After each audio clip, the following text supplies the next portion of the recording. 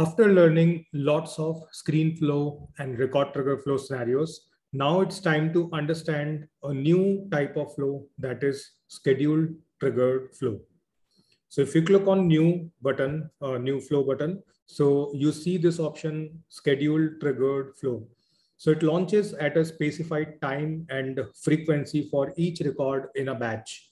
This auto launched flow runs in the background right? So if you click on create, so here you can see uh, we have this option. So here we can uh, set the schedule. So here you can select the date. Here you can select the time. So if you want to select date and time, so what you can do, basically, uh, first of all, you need to check the org current date and time. So let's say I'm opening sales application So you can just open any of the record and you can modify any of its value so that you can just check the last modified date and time. So here you can see uh, this org's current date is 29.6 and time is 10.9. So now here, if I want to schedule a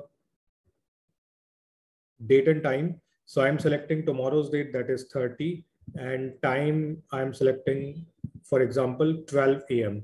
Then we have three frequencies, once, daily, weekly, right? So as per the name, uh, you can understand once means it will run only once, daily uh, on particular uh, time, it will run on daily basis, weekly, like if, if you schedule it for Monday, so every week, Monday at particular time, this flow will run.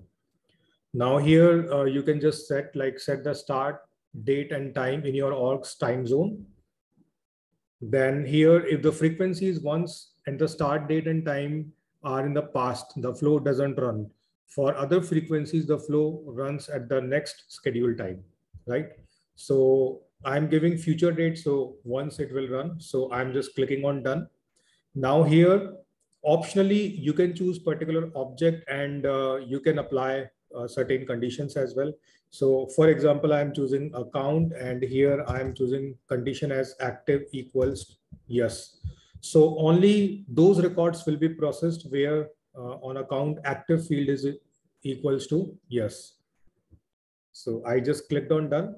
Now, after configuring this uh, start part of the scheduled triggered flow, so here you can apply uh, particular elements. So these elements are uh, kind of same as we had in the screen flow or record trigger flow.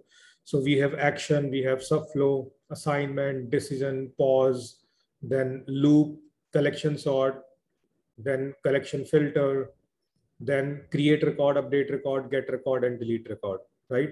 So for example, I'm just updating the record. So update accounts. And uh,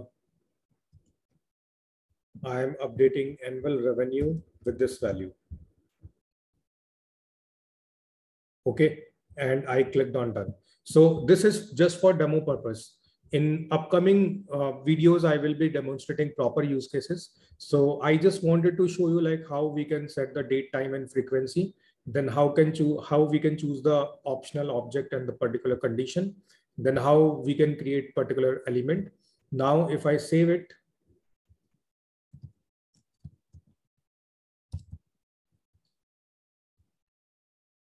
So it is saved and now I'm going to activate it. So as you activate your flow, so you just need to search for scheduled jobs and you can see uh, you will find one entry available here. So job name is demo schedule flow. One is indicating the version. So right now we have version one. So version one is scheduled, submitted by, then submitted date and time.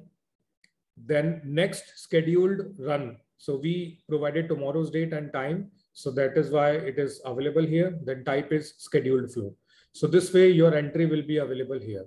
Now, if you don't want to execute this and you want to delete. So for example, you schedule on daily basis and uh, like after one or two week, you realize like you don't want to run your uh, scheduled job. So you can just delete it as well. So this way like you can see what all scheduled jobs are available that you have created with the help of scheduled triggered flow. So as of now, I'm deleting this. So if I delete, so that record will be removed, right? So if you want uh, to schedule it again, so you just need to save as, you need to clear, create a new version, and then you again need to click on uh, activate. So then it will be activated.